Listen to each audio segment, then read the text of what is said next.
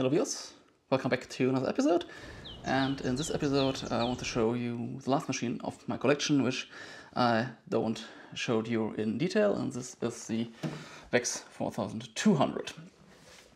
Um, you've seen that machine in several other of my videos, but know, I will show you more detailed tour and a detailed overview about the hardware of that machine. And that machine is a VAX 4200, not a VAX server, so this is the time-sharing version of uh, And uh, I've told in some of my previous videos that I don't have a license for time sharing uh, server because I don't have a Type A license, but um, based on comments of my uh, licensing video, um, I need only Type C license and I have Type C license, so I have a proper license for that machine. I had it all the time and I did not know about it because I thought I need A and C together, but you do need uh, A or C. There was also a comment on the German video that my channel is called DEC Computers and uh, I do not show really big VAX machines, but I do not have really big VAX machines. I do not have a VAX 6000, 8000, 10000 or, some, or VAX 11 or something like that, so I cannot show you these machines. I can you only show the, you, know, you the machines I have. And uh, this because this is the uh, fifth and last machine of my collection. Uh, this will be the last yeah, uh, hardware overview video uh, until I get a new machine. I can show you the uh, HiNote 2000 laptop from Digital, but it's not original made by DEC, it's made by an OEM manufacturer, so I don't think it's necessary to make a dedicated video about this uh, HiNote uh, notebook, or even if when, when uh, do you want that I want to show you also that uh, laptop, I can uh, do a video about it, but uh, I think it's not necessary to make such a video. This is a machine from the outside. Um, there are two different versions available. This is a smaller one. There is also a bigger one. And um, these are the two chassis, the same chassis like um, of uh, MicroVAX 3400. So uh, Digital Diggings has a video about his MicroVAX 3400. Um, I will link that video down below and this is the bigger chassis and this is the smaller chassis and um, you were able to upgrade the MicroVAX 3400 to a VAX 4200 um, only with changed the CPU module you can here's something you can open and behind that here is a hard drive. This is a SCSI hard drive. It's original from that machine but it's disconnected so it's not in use. It's only to, uh, to have something in here. Um, you uh, saw in my intro that it was uh, empty for quite a long time and I hope I will find maybe a TK70 or something like that to put uh, put in there so and I can remove the hard drive but at the moment uh, there is the hard drive here you can turn the machine on or off and here are the configuration for the uh, DSSI hard drive. So this is a SCSI hard drive but there's also um, DSSI hard drive in there.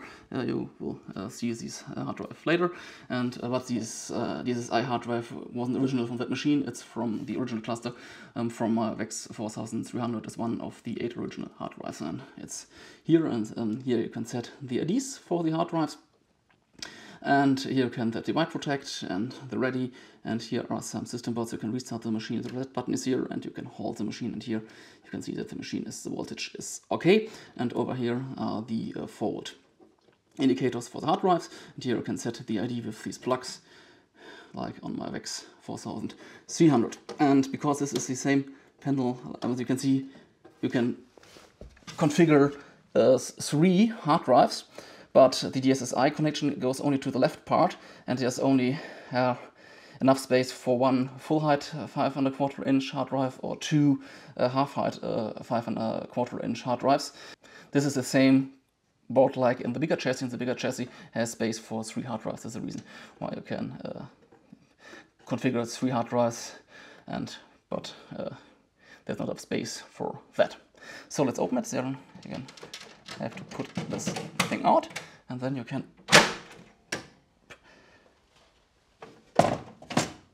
take it apart. There's not, not a door like on my VAX 4300. You have to put it to the top. Um, then another thing here, this is the external, this is eye connection, and uh, viewers from my previous um, videos knows that the DSSI bus does not work from that machine or did not work, I have to say now, because um, I fixed the problem with the DSSI bus. Here this is the power supply, and in the power supply were two broken capacitors. not I don't I, I've measured the, the 5 volt and 12 volt to the hard drive and this is perfectly okay.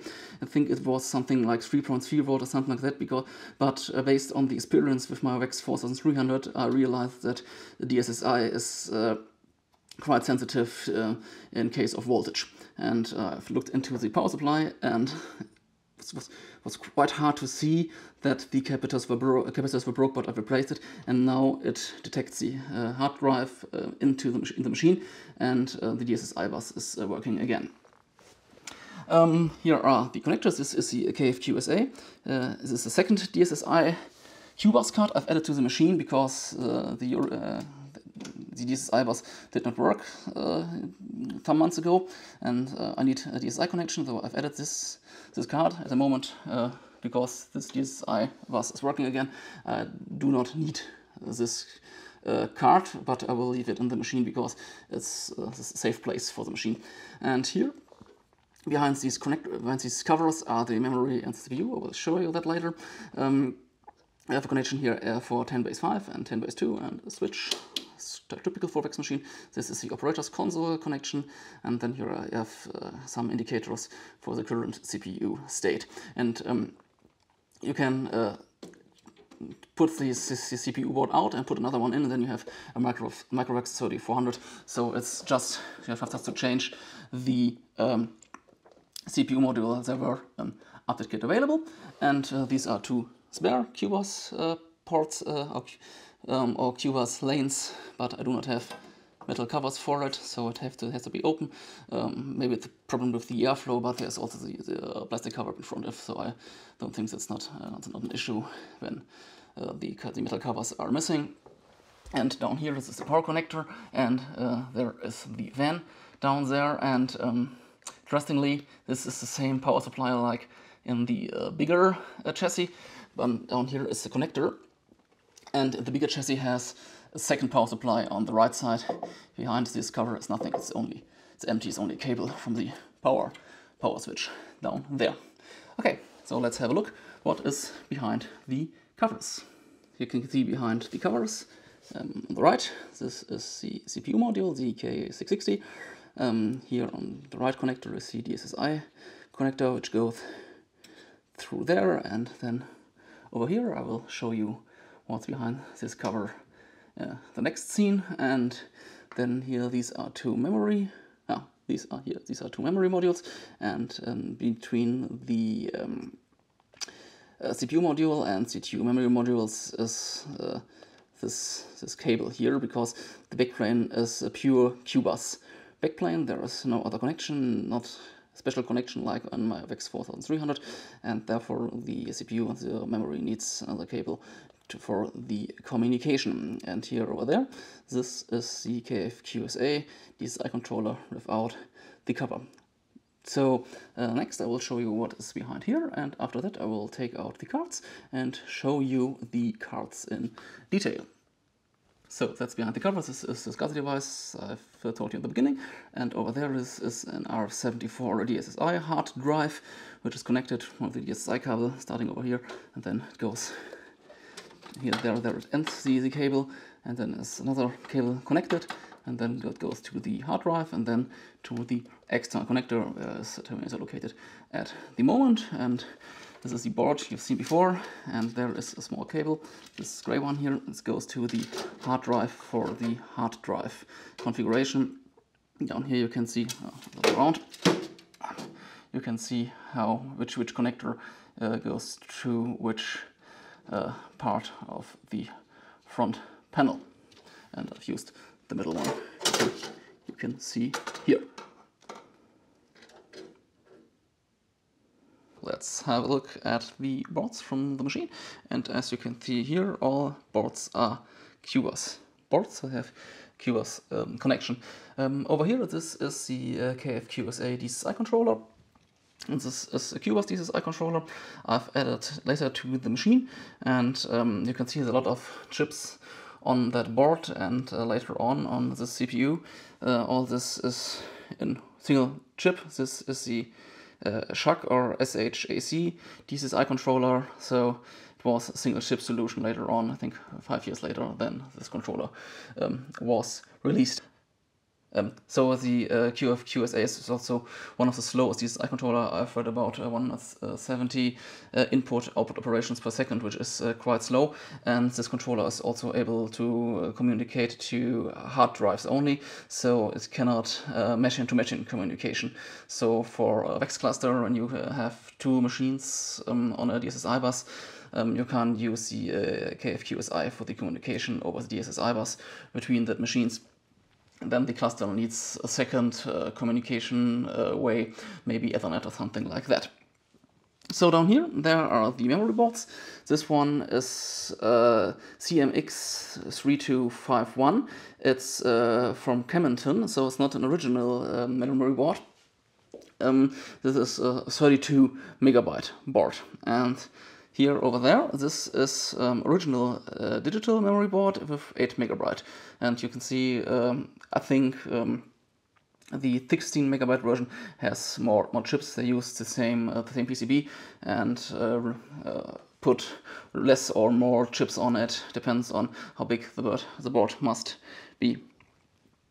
And here on the right, this is the KA660 CPU module, and this is the uh, most interesting board, I think, from that machine. And um, over there, this one, uh, I think this one, yeah, this one, this is the DC222 SoC.